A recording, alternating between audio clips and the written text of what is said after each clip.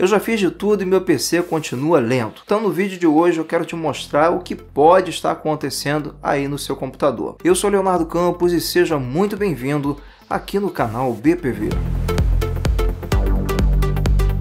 A orientação que eu vou passar nesse vídeo aqui serve para aquelas pessoas que já fizeram de tudo para melhorar o desempenho do computador. Como assim de tudo, Leonardo? Ah, a pessoa já fez desfragmentação, já fez limpeza de disco, a pessoa já fez uma limpeza manual no gabinete, tirando poeira, né? Muitas vezes a pessoa já trocou pasta térmica do processador porque estava superaquecendo. A pessoa já fez de tudo e mesmo assim o PC continua lento. Então eu quero falar aqui para você que tem grandes possibilidades do teu HD ser o vilão da, da, da coisa, hein?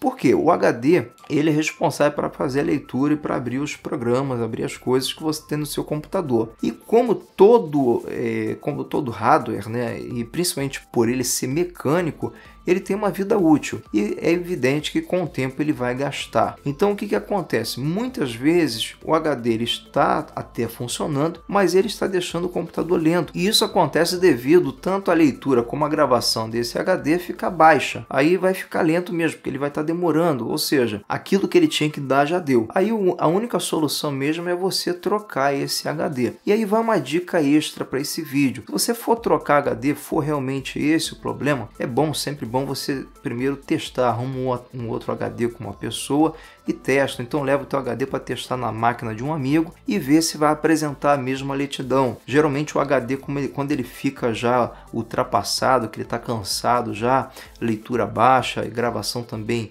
baixa, o que, que acontece? Ele começa a fazer um barulho a mais né, da agulha. Então dá para perceber também por aí, mas nada melhor do que você testar. Então se você testificar que é o seu HD que está com problema, pense muito bem aí de repente de botar um SSD. O SSD, pessoal, sem exagero nenhum, tá? O SSD ele vai acelerar o teu computador até 18 vezes mais. Aí muita gente fala assim, o SSD é muito caro, né? Mas você pode comprar um SSD de tamanho menor para você botar aí o seu sistema operacional e alguns programas que você usa mais para ele poder o programa abrir mais rápido e tudo mais e você ter um HD para você botar os seus vídeos, arquivos e todas as coisas que você queira e o teu computador vai ficar muito mais rápido, eu garanto tá bom?